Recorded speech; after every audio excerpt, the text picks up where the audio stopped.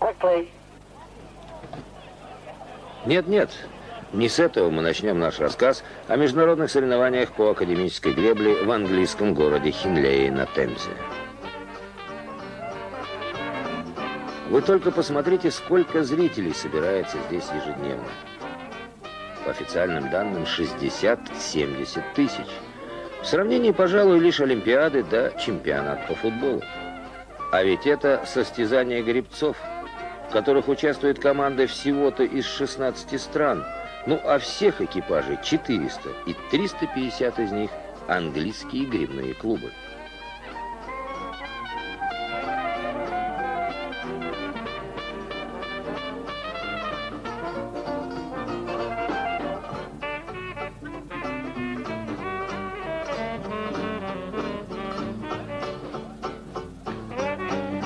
Что же это за феномен Королевская Хинлейская регата?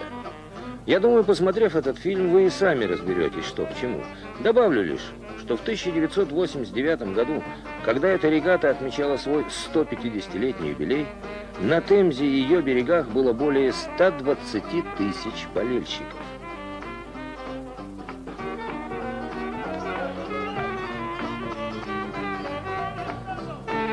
Еще, конечно, традиция, знаменитая английская традиция.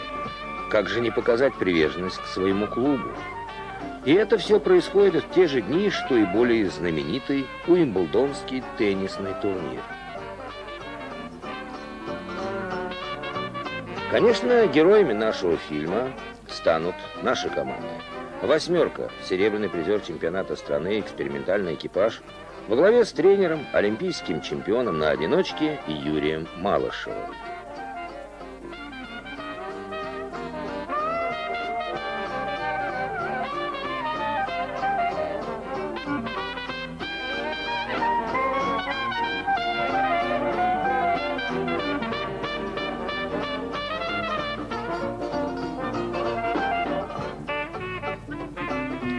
И еще Бронзовый призер Олимпиады в Сеуле Александр Марченко.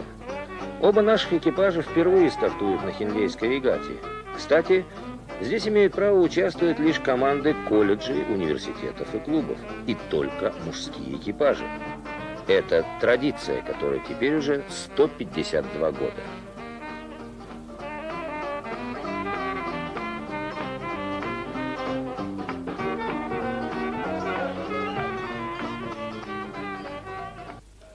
Вам предстоит познакомиться с Хельнейской регатой, соревнованиями грибцов на академических лодках, которая несравнима ни с чемпионатами мира, ни с Олимпийскими играми.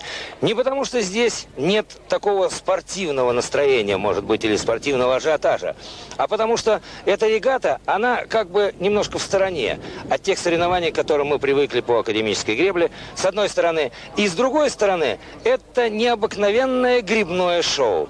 Обратите внимание, сейчас 30 градусов, а мне приходится стоять э, ну, в смокинге, при галстуке, потому что дальше этого плота меня не пустят. Таковы традиции, традиции этой регаты. Да уж, английские традиции известны во всем мире. Так вот, без пиджака и галстука не пустят на трибуны. Платья женские и только платья или юбки должны быть ниже колена. Даже школьницу бдительные блюстители 150-летней традиции повернули обратно. Вот так-то.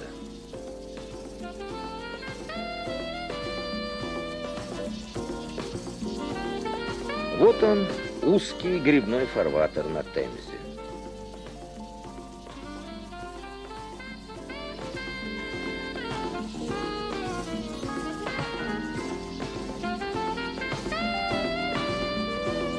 Ну, а наша маленькая команда благодарит спонсора, британскую фирму Кикко СССР, эмблему которую вы видели, и английскую группу фирм Broadway Computer.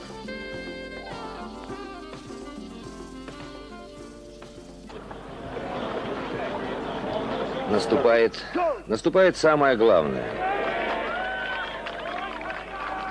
Первым от нашей команды на старте Александр Марченко. Он слева на ваших экранах, справа его соперник Том Мёффи, грибной клуб Святой Катарины из канадского города Оттавы. Про Мёффи мы так ничего и не узнали. Он как начал эту гонку, так, в общем-то, и закончил свои выступления на Хинлейской регате. Сразу хочу обратить внимание. Совершенно непривычная картина для любителей академической гребли. Две команды, две одиночки на дистанции. Так называемая дуэльная гонка. Выиграл – пошел дальше. Проиграл – увы, сидишь на берегу. Всего 8 пар на одиночках участвовали в этих состязаниях, 16 лодок. Так вот, Первую гонку Александр Марченко, армеец из Херсона, провел отлично. Со старта он ушел достаточно далеко вперед, но затем сбросил темп и позволил своему сопернику приблизиться, а тот, в свою очередь, сделал рывок. Это вы сейчас все увидите. В заездах одиночек разыгрывается так называемый кубок «Бриллиантовые весла», а всего на Хинлейской регате таких кубков 15.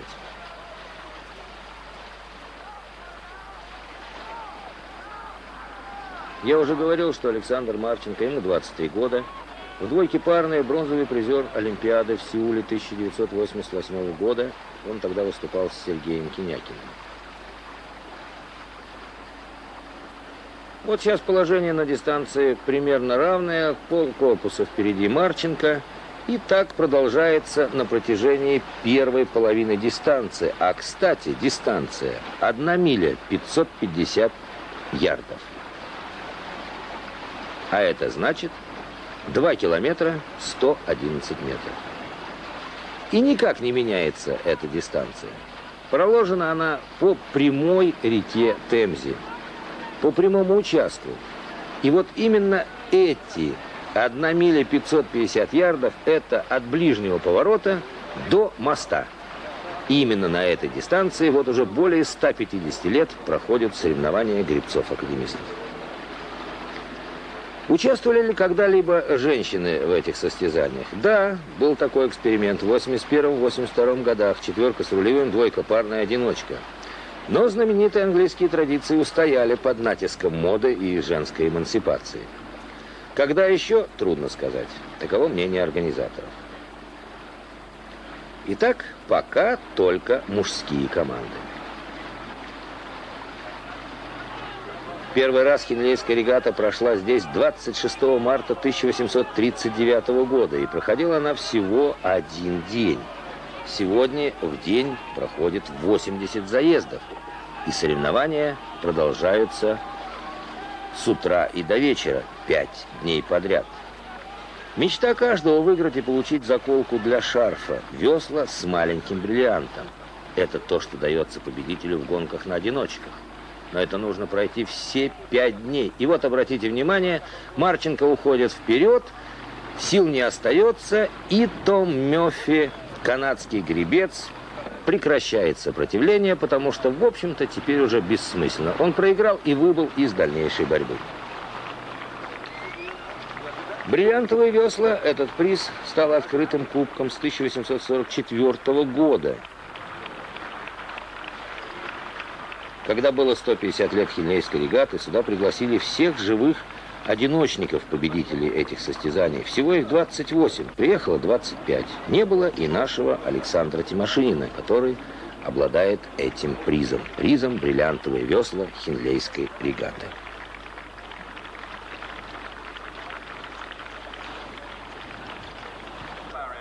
Увы, нам не суждено было увидеть этот приз. Ибо в следующей гонке на другой день Саша проиграл Хёнингу из Ноттингема. Хинлей – типичный английский небольшой уютный городок. Когда он появился на берегах Темзы, сказать не берусь. Ведь люди селились у реки с незапамятных времен. Недалеко от Лондона, на давней дороге к Оксфорду. И наверняка этот отель «Красный лев» помнит и то собрание жителей 1839 года и первых лауреатов Хиндейской регаты. Помнит он и Темзу в конце прошлого века.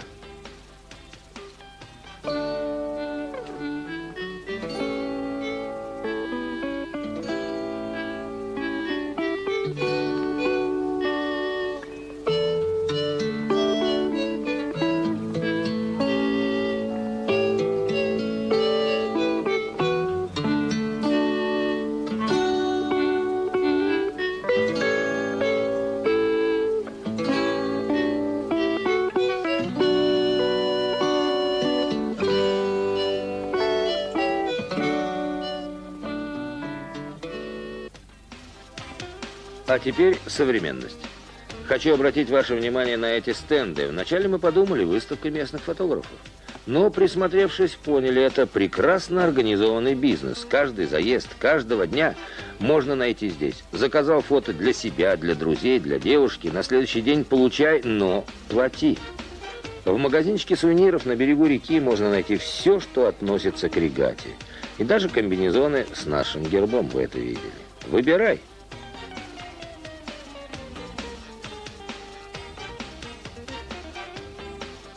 Вежливые полицейские. Все для пешеходов, гостей Хинлейской регаты.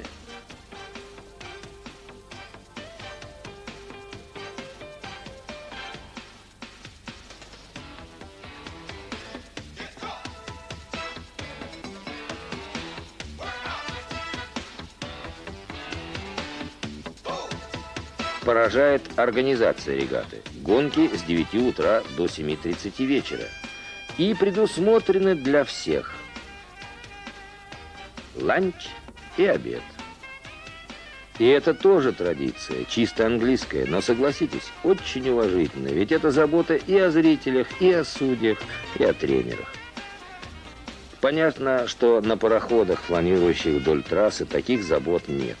И такое впечатление, что здесь все так отлажено, что вообще нет проблем.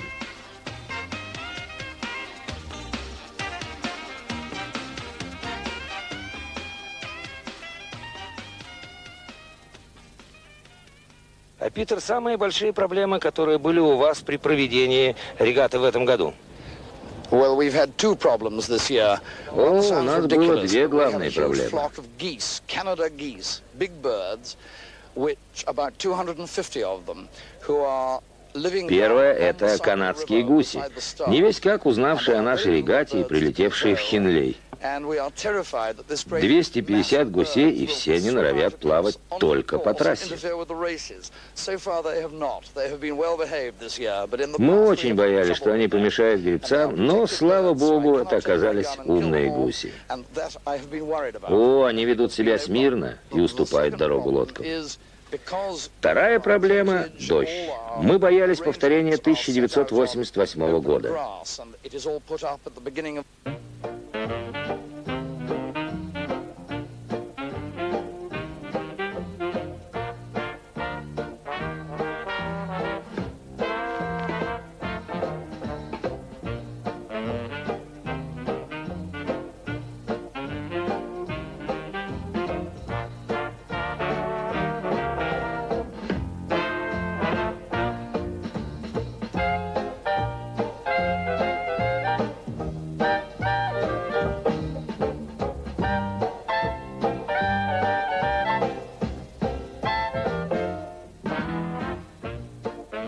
Мистер Кони, а какие э, экономические, какие экономические основы для проведения регаты, экономика этой регаты? Well, Члены комитета вносят в течение года по 5 тысяч фунтов, а их друзья покупают билеты. Ну и, конечно, рестораны, атрибутика и так далее. В этом году мы предполагаем заработать четверть миллиона.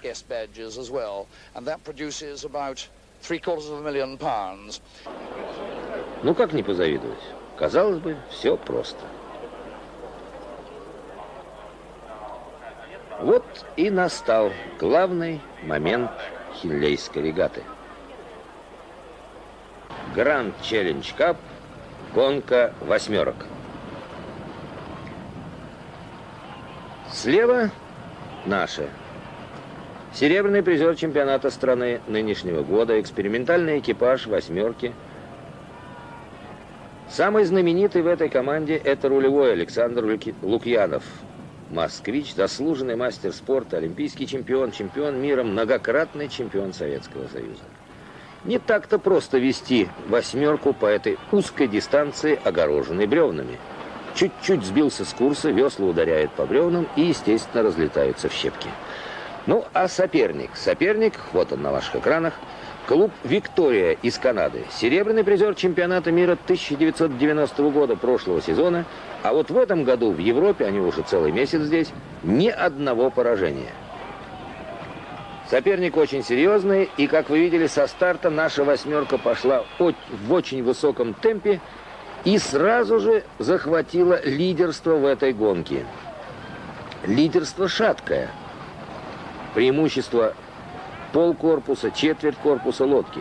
Да, кстати, на Хинлейской регате не отмечается временной фактор. То есть отмечается время прохождения дистанции.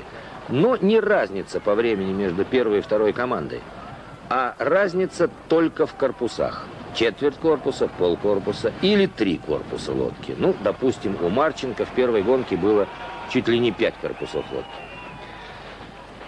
Гранд Челлендж Кап, который разыгрывается в восьмерках, самый главный приз. В 1839 году он был установлен кубок из серебра стоимостью 100 геней, несколько тысяч фунтов. Самый первый кубок сегодня находится в музее клуба «Леандр». Этот главный приз гостями выигрывался 33 раза. 7 раз США, дважды Советский Союз, 8 Германия, 3 Бельгия, Швейцария, Франция и Болгария. Хиндейская регата в феврале 1839 года на собрании отцов города была утверждена эта регата, а в марте уже состоялась. Итак, вы видите, все-таки сборная СССР, а это не сборная СССР, а сборная клубов советской армии «Динамо», ибо только клубы участвуют в Хиллейской регате, на последнем отрезке дистанции предпринимает великолепный спорт и уходит от своих соперников, напомню, серебряные призеры чемпионата мира 1990 года. И победный взмах руки Александра Лукьянова. И как же приятно выходить на плод победителями. Чувствуешь себя человеком, хорошо сделавшим свое дело.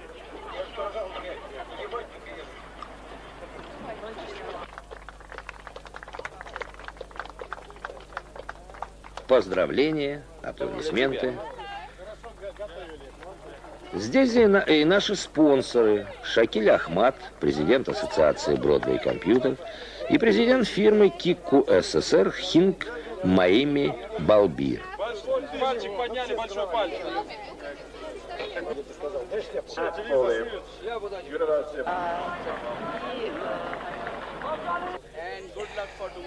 Главные слова – поздравления с победой и пожелание успеха в финале. А в финале знаменитый клуб Леандр. Ну и сразу здесь же короткое интервью. Well, I have a lot of confidence in our boys.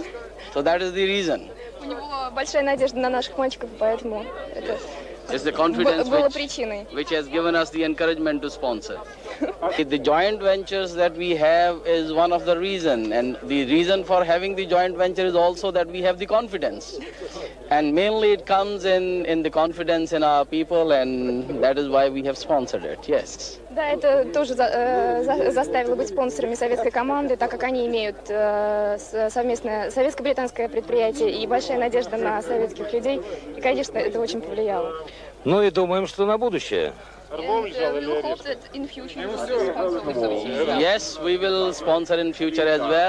Да, мы готовы быть спонсорами на будущий год, сказали наши спонсоры. Также он, э, он, он сказал, что в будущем мы тоже будем спонсорами нашей советской команды. Также вот он представляет э, президента Кику ЮССА, э, э, мистера Бальбира, который является президентом той, кома- э, той компании, которая э, была спонсором советской команды. Спасибо. А я к этому могу добавить только одно. Если бы победа. Ну а теперь вдоль и вниз по Темзе. Фестиваль шляп. Вот сюда бы наших модниц.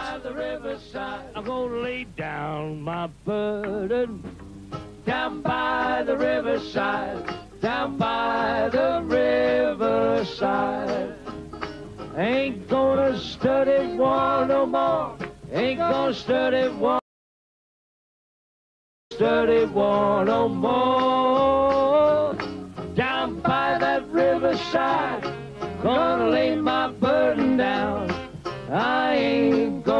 6.31 no more.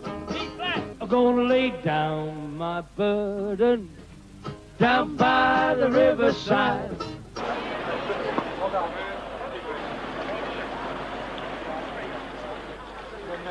Участвовали в Хинлейской регате и литовские гребцы. У них был свой спонсор. Обе команды дошли до финала, но проиграли чемпионам мира из Ноттингема Нормантаса и Кучинска с двойки без рулевого и четверка из Вильнюса остались без желанного кубка. А ведь в составе сборной страны Нормантас и Кучинскас были в свое время чемпионами мира. Жаль парней. Спортивная зрелость ведь уходит. Евгений Самсонов, мой собеседник, поистине сама история послевоенной гребли. Участник Олимпиады 52 года. В Хельсинки тогда в восьмерке они завоевали серебряные награды. Был Евгений Борисович и моим главным тренером сборной. Был он и в лодке знаменитой команды 50-х годов «Крылья Советов», той самой, которая первой из советских гребцов победила здесь, в Хинлее. Ну, вспоминать свою молодость, тем паче молодость, которая связана со спортивными успехами, всегда приятно.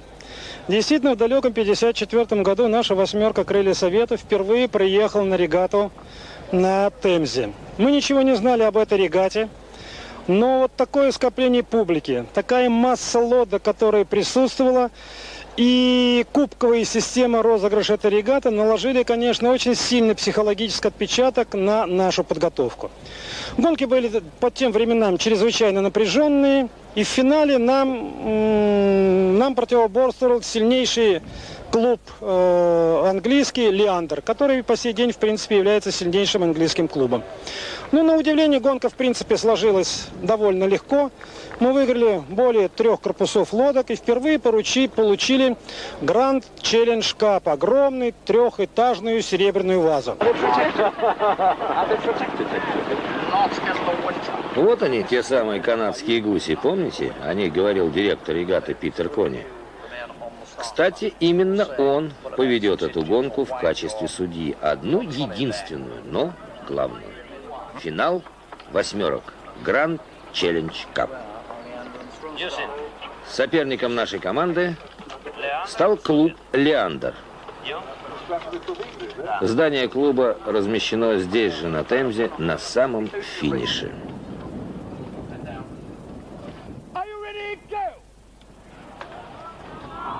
Дан старт и обе команды в максимальном темпе пошли по дистанции, потому что здесь уже будет только победитель. Принадлежность клубу «Леандр» – розовый галстук, розовая гвоздика в петлице темного пиджака и особый знак. Последний раз Грибцы Леандра выигрывали Гранд Челлендж Кап в 1988 году.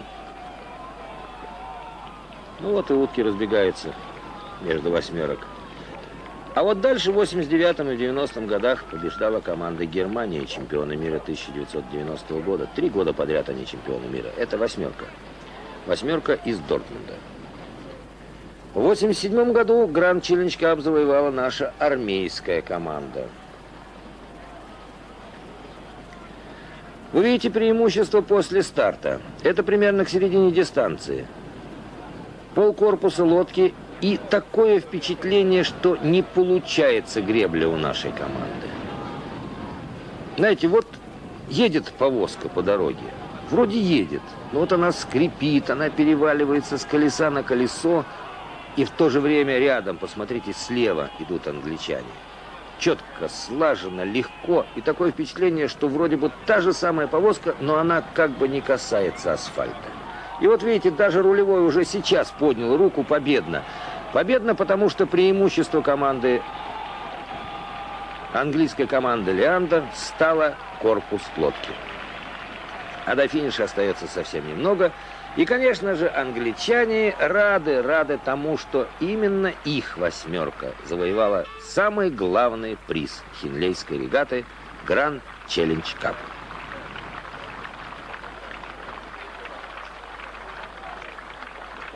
На этот раз не поднимет победную руку наш рулевой Саша Лукьянов. Будут радоваться англичане. Простая картина. Победа и поражение. Ну, а это такова традиция. Возможно, бросив в воду рулевого, только тогда и узнают, умеет ли он плавать.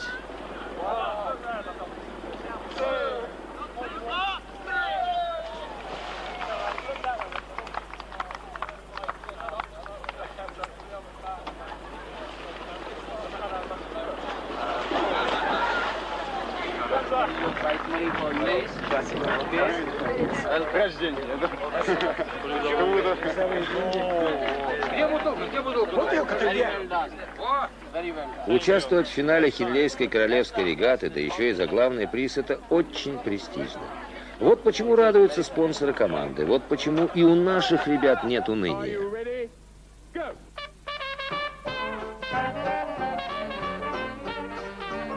Хинлей – это праздник гребли. А на празднике так уж принято, только веселые лица. Ну что ж, нам открывать шампанское, кстати, врученное нам соперниками. Ну, а им, победителям, гребцам клуба «Леандр», получать заветный Гранд Челлендж Кап.